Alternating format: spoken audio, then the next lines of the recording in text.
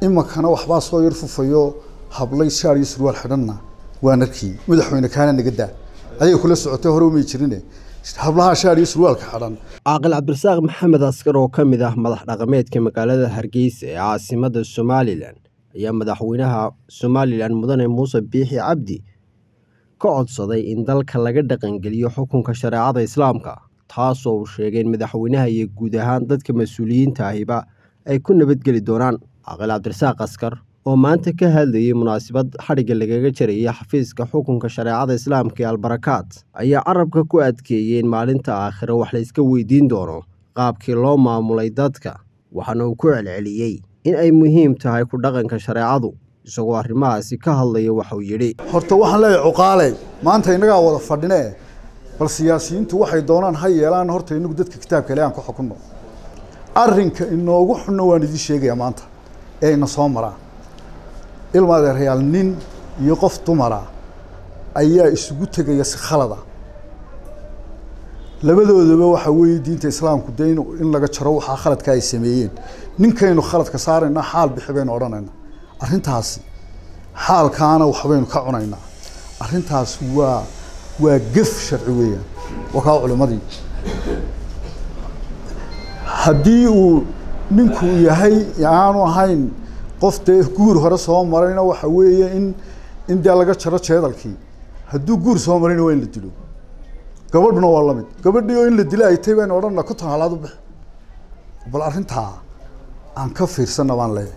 Waa arrimaha ugu waaweyn iminka waddanka ka jira ee innaga dulmiga inagu noqonaya innaga. Inu dee soo horgelayna nin waliba uu galaa arrintaas oo kale. Arrintaa taasaan leeyahay. Anigu ag fadhiisan maaye dowladdana waxaan leeyahay madaxweynuhu ugu sarreeyo madaxweynuhu wallaahi aakhir alcimri baa tay aakhir alcimri ayaa tay anigu etoobiya weerar kuma lihin jabuuti weerar kuma lihin maraykan iyo yurub weerar kuma lihin. Maxkamadaheenna culimmada inoo dhig. Maxkamadaheenna adna aada nabadgeshid annana aanu nabadgallo haddaad dhimatana yaan lagu weydiinin. Dadka maxaad ku xukumi jirtay anigu madaxweynaha weliba waa nin dhaqanka iyo xagga iyo iyo xagga diinta aan ku xumayn. Marka dee saani aan dee u sheegino siyaasiyiin badan baa kaga khatarsan. Laakiin halkaasi waxba tari mayso dhaqankiisa wanaagsan. Haddaanu dadka odhanin waa kitaabka ilaahay nagu xukuma. Madaxweynaha dee bahalkan hadduu yahay miidiyi dee miidiya geliya hadalka.